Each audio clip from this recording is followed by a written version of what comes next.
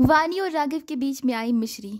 मिश्री ने बचाई राघव की माँ की जान। कल इस टीवी शो मिश्री के आने वाले एपिसोड में हम सभी देखेंगे कि वानी राघव से फ़ोन पर बात करती है और वानी कहती है कि उसके घर वाले उसके लिए रिश्ता ढूंढ रहे हैं। अगर राघव ने जल्दी कुछ नहीं किया तो उसकी शादी कहीं और हो जाएगी।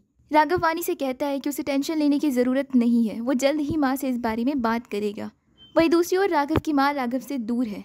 उन्हें अस्थमा अटैक आता है। उन्हें इन्हेलर की ज़रूरत है। लेकिन इन्हेलर उनके पास नहीं है।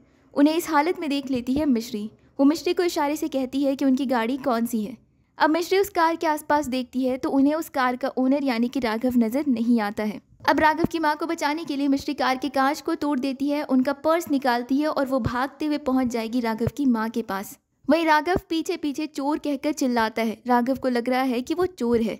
वेल मिश्री की इस समझदारी से राघव की माँ इम्प्रेस हो जाएगी। वो समझ जाएगी कि कार के कांच से ज़्यादा इंपॉर्टेंट उसकी माँ का इन्हेलर था, इसीलिए मिश्री ने ये सब कुछ किया। वो राघव को समझाएगी और साथ ही राघव के साथ मिश्री का रिश्ता भी तय कर देगी। आपको क्या कुछ कहना है इस पूरी अपडेट को लेकर? आप अपना ओपिनियन हमें कॉमेंट के ज़रिए ज़रूर बताइए। और साथ ही टेलीविज़न से जुड़ी सभी लेटेस्ट अपडेट के लिए सब्सक्राइब करें हमारे चैनल को।